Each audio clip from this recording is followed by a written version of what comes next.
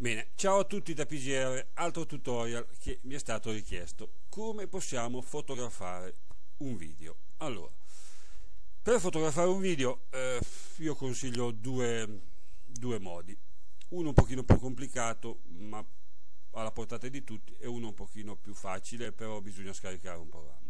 Allora, partiamo da quello un, po', un pochino più complicato. Allora, apriamo un video che ieri non sono riuscito a mettere su Facebook perché mi hanno detto che offendo il copyright, violo il copyright. Ok, lo apriamo, apriamo il video, sempre se si apre.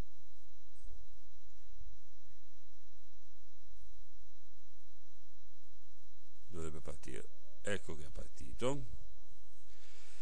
Voi adesso sulla tastiera andate a guardare e dovete trovare un tasto dove c'è scritto Stamp RSist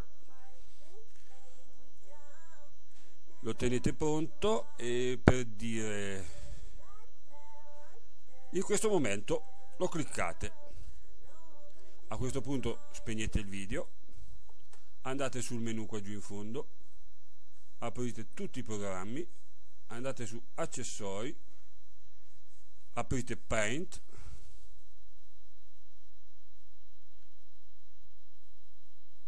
e qui incollate. Ecco che avrete una foto di tutto il desktop con l'immagine del video.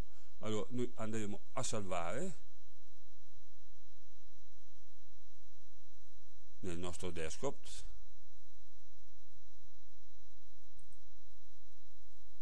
una volta salvata eh, questa immagine piano piano l'andremo a aprire e a ritagliare con Microsoft Office. Ecco che l'abbiamo eh, facciamo modifica immagini ritaglia e andremo a ritagliare completamente tutta la foto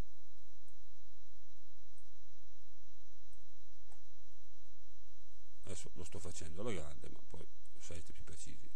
A questo punto basta dare l'ok. Ecco che avremo la foto che verrà salvata.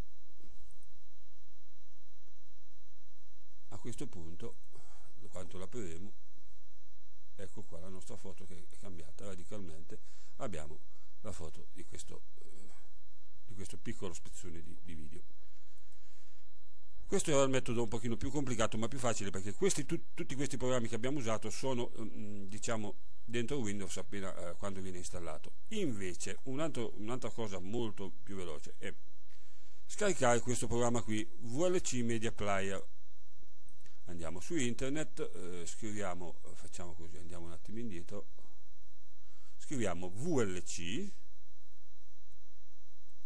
mi raccomando che sia videolan.org perché se no attenzione che ci sono delle truffe in giro con questo VLC lo scaricate e lo installate. Una volta installato lo andrete a aprire.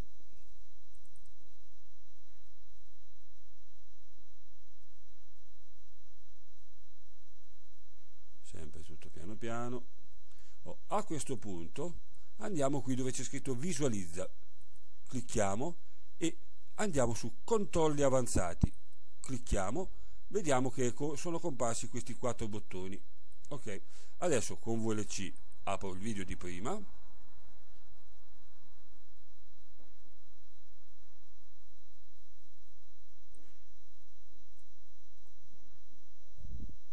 E questo tasto qui eh, poi vi spiegherò altra cosa. Basta cliccarlo. Ecco che avremo la foto questa che compare qua su? Già pronte come vedete la foto che compare qua su poi verrà riprodotta direttamente qui. Dicevamo eh, fermiamo.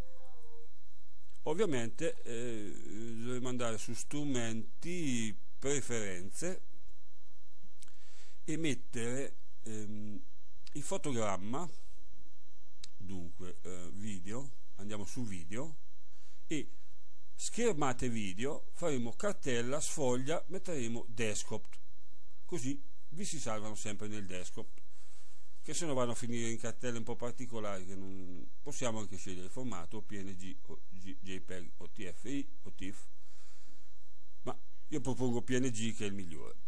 Ok, lo salvate, salvate tutto, ecco che a quel momento quando spingerete la macchinina fotografica verranno fuori, come vedete, la foto è grandezza naturale del video. Adesso andremo a aprire, come, come vedete con VLC la foto è già eh, diciamo pronta. Ecco. Bene, ciao a tutti, arrivederci e alla prossima.